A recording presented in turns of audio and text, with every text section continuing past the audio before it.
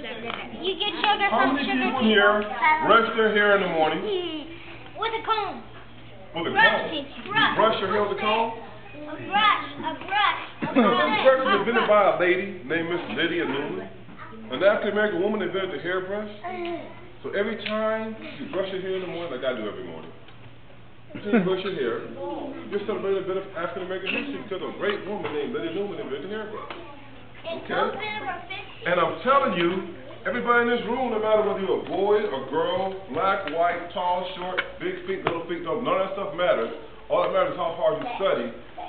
Everybody in this room can be an inventor and make something, okay? So if you're going through life every day and you find something that's difficult or hard, you say, okay, I can do better than that. Let me show you an example of somebody getting a good idea of doing better, okay? Right here, look at this here.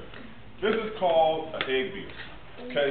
Old fashioned Spin stuff egg around. It's Look stuff thing. around so Look you won't have to do it with These the blades turn, and this wheel turn. Look at and the gears turn. You see that?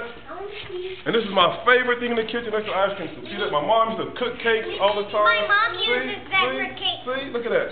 And my mom would just hook it up, and when she finished, I would get it, and I would just take it to the side, and I would just lick off all the icing off of it, right? That's what me and my sister. Yeah, all the time, right? So this is a pretty good invention, okay? But this is not used anymore, okay?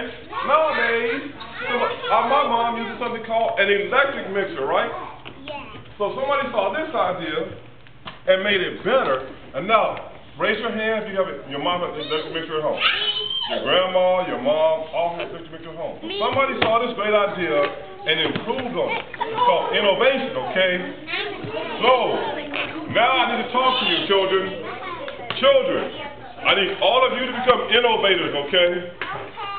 I want you to see something that's good and make it better, okay?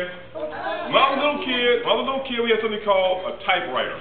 Remember typewriters? Oh yeah, you We had, now they have something called a computer, okay?